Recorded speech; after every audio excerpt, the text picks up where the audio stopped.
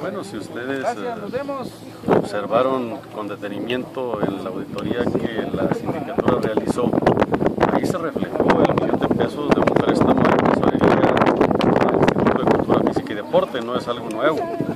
Una de las observaciones fue ese préstamo que se hizo, aparte de los 48 millones de pesos que se dieron de subsidio.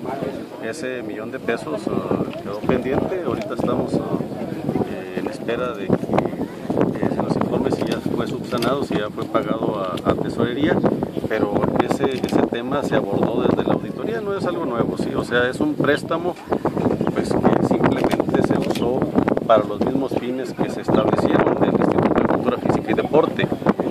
No se planteó que se hubiera desviado ese millón de pesos, simplemente que se dio un préstamo para poder eh, completar el recurso, fundamentalmente para los eventos del básquetbol y del béisbol. Eh, por eso pidió la, el instituto un millón de pesos extra, los 48 millones de pesos que eh, el municipio otorgó eh, de manera eh, de subsidio al instituto. Síndico, en el total de las observaciones, ¿a cuánto ascendería la cifra?